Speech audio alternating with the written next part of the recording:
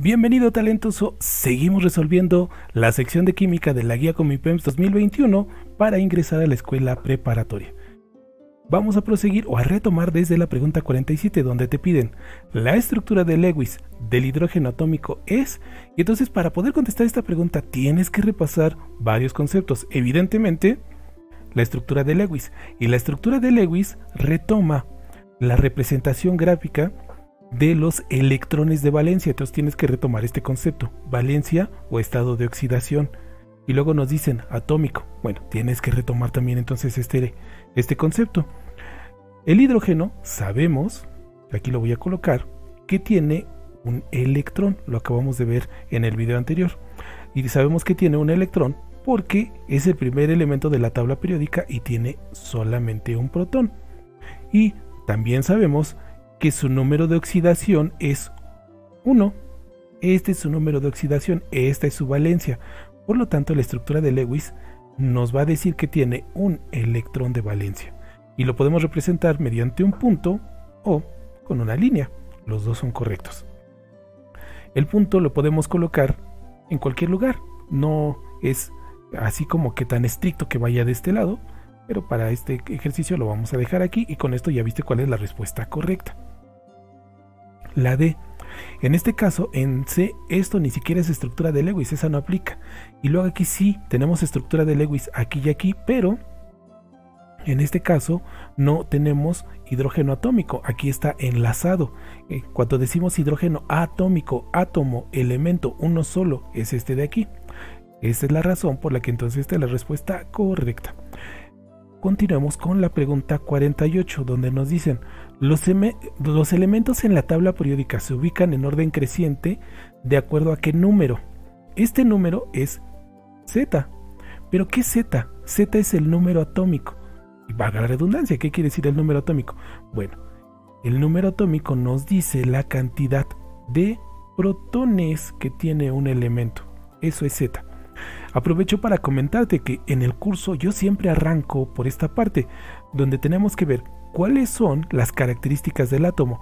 Y el átomo tiene tres partículas subatómicas elementales, protones, neutrones y electrones. Y estos están asociados con ciertas características. Por ejemplo, el protón con Z, que es el número atómico, los neutrones con la valencia o el estado de, perdón, los electrones con la valencia o estado de oxidación y los neutrones con la masa atómica. Tienes que darle un repasito.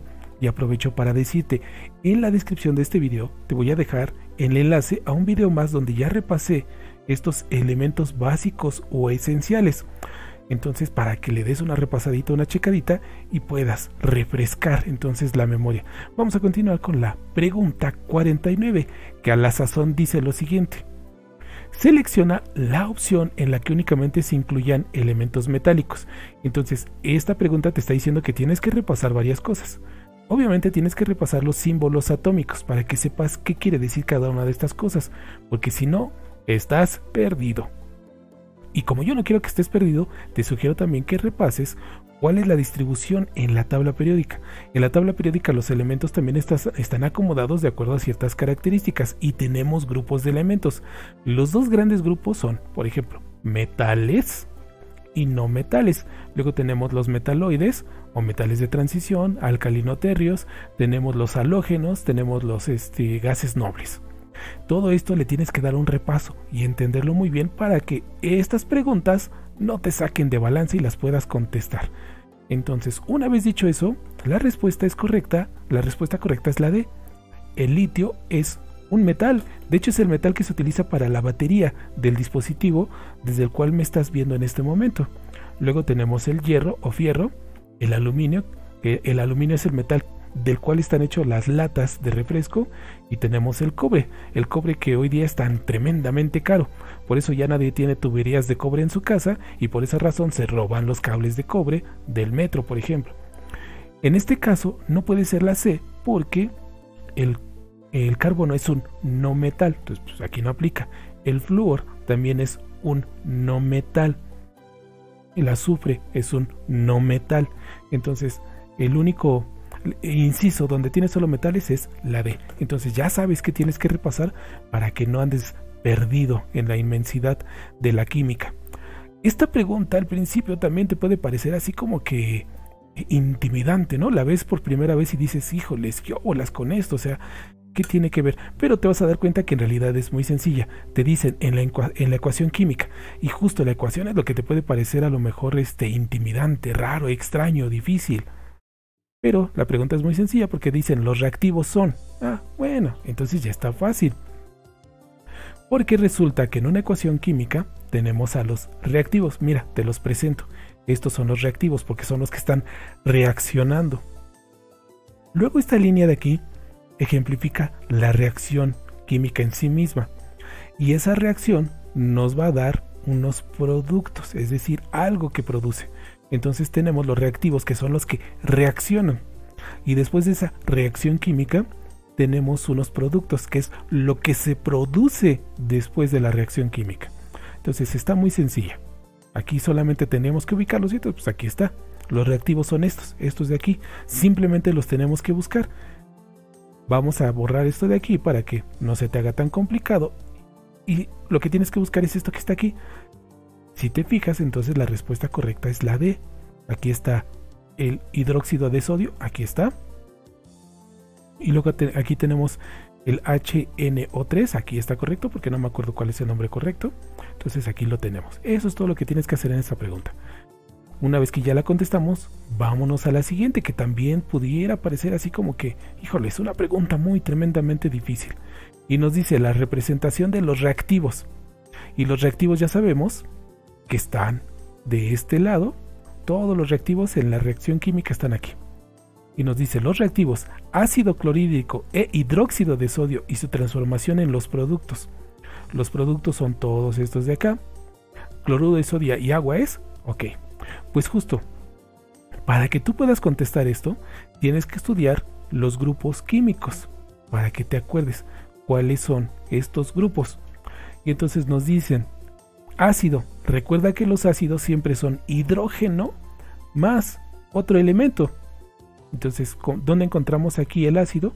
Podemos ver que aquí tenemos un ácido, podemos ver que aquí tenemos un ácido y aquí tenemos un ácido. Entonces, en automático ya podemos descartar este de aquí porque aquí no tenemos ácido. Entonces, a esta, adiós. Y luego nos dicen hidróxido. Y entonces recuerda que en el hidróxido siempre tenemos esta forma. Tenemos el oxígeno y el hidrógeno. Esto es un hidróxido. Y entonces tenemos que buscar dónde tenemos esto. Entonces aquí tenemos ácido, ácido. ¿Y dónde tengo hidróxido? Aquí no, aquí hay agua. Aquí no, aquí sí. Entonces esta de aquí es la buena. Aquí tengo el ácido y aquí tengo el hidróxido. Y esos tienen que estar en los reactivos. Aquí está. Y luego nada más para que te veas más nice, para que se vea que sí, que sí le estudiaste, que sí sabes. Híjoles, lo borré. Déjame colocarlo de nuevo cuenta. Que se me fue aquí la onda. Bueno, para que te veas más nice, podemos identificar incluso quiénes son los productos. Entonces ya vimos, nos dicen ácido clorhídrico. Y ya decíamos, el ácido es hidrógeno más un elemento que en este caso es cloro, porque es clorhídrico, o sea, cloro. Aquí está. Aquí tenemos el ácido clorhídrico. Luego nos dicen hidróxido de sodio. Hidróxido de sodio. Aquí está. Y su transformación en los productos. Cloruro de sodio. Cloruro de sodio. Es sal común y agua. Aquí está la fórmula del agua. Entonces, esta sería la respuesta correcta. De nueva cuenta, recalco el hecho de que esta pregunta te está pidiendo que repases los grupos funcionales para que no te agarren en curva el día del examen. Eso es lo que tienes que repasar. Nos vamos a esta, que es la última pregunta, que es la 52. La combustión del gas natural, y nos dan la fórmula, es un proceso en el que se lleva a cabo una reacción de... Y aquí esto es pues realmente muy sencillo. Para que tú puedas contestar esta pregunta, entonces tienes que repasar el tema de reacciones químicas. Aquí tenemos unas reacciones químicas básicas. Neutralización, que eso no está ocurriendo aquí. Y cuando estudies el tema, ya vas a saber por qué. Y luego tenemos óxido-reducción, que esta es la respuesta correcta. Sabemos que las combustiones forman parte de las reacciones de óxido-reducción, donde un elemento se oxida y el otro se reduce. Entonces, esta sería la respuesta correcta para esta pregunta. De este modo, ya contestamos o terminamos de contestar la sección de química, que yo sé que es una de esas secciones complicadas, ya sabes cuáles son las respuestas correctas y ya sabes cuáles son los temas esenciales. Y entonces para que te pongas a estudiar y para que revises el video que te estoy compartiendo, ya no te quito más el tiempo, me despido de ti y entonces nos vemos para el próximo video.